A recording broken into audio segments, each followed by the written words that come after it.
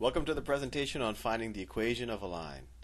Let's get started. Say I had two points. Let's had the point 1, comma 2, and I had the point 3, comma 4. And I want to figure out the equation of the line through these points. So let's, let's at least figure out what that line looks like.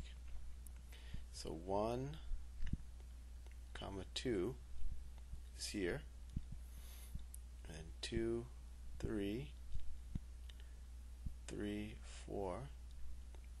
3 comma 4 is here.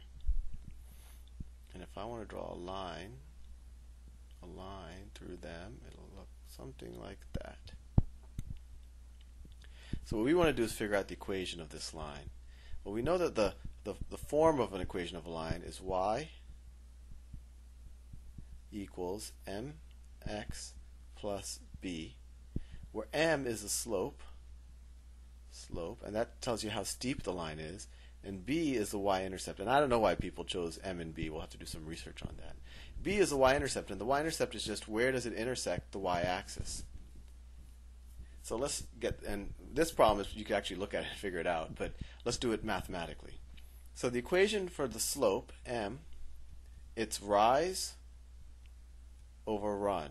Another way to view that is, for any amount that you run along the x-axis, how much do you rise? Well, let's do that numerically. Rise is the same thing as change over y, and run is the same thing as change over x. Delta, this triangle, means change, change in y. Well, change in y, let's let's take the starting point to be 3 comma 4. Let's say we're going from 3 comma 4 to 2 comma 1. The change in y is 4 minus 2. We just took this 4 minus this 2 over 3 minus 1. My phone was ringing out. Let me let me lower the volume. Over 3 minus 1. And that's just this 3 minus this 1. So if we just solve for it, we get 4 minus 2 is 2, and 3 minus 1 is also 2. So we get the slope is equal to 1. And that makes sense because when we move over 1 in x, we go up exactly 1 in y. Or when we move to the left 1 in x, we move down exactly 1 in y. So now we know the equation is y equals 1x plus b, because we solved that m equals 1. And this is, of course, the same thing as y equals x plus b. Now all we have left to do is solve for b. Well, how do we do that? Because we, we have three variables here. Well, we could actually substitute one of these pairs of points in for y and x. And that makes sense because th these points have to satisfy this equation. So let's take this first pair. y is equal to 2.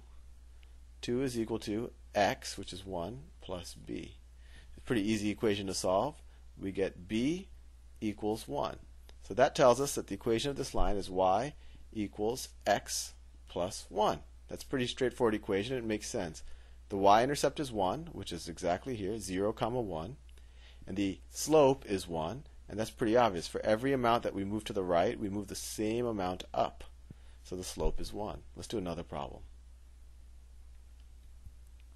Let's say I wanted to find the equation of the line between the points negative 3 comma 5 and 2 comma negative 6.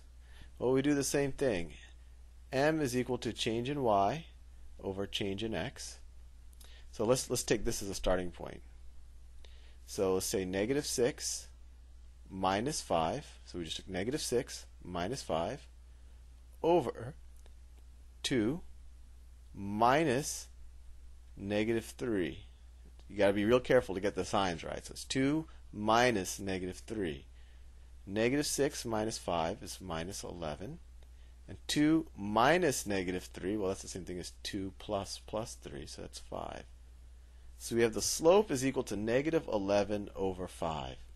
And notice that if we if on on the numerator we use negative 6 as a starting point, then in the denominator we have to use 2 as a starting point.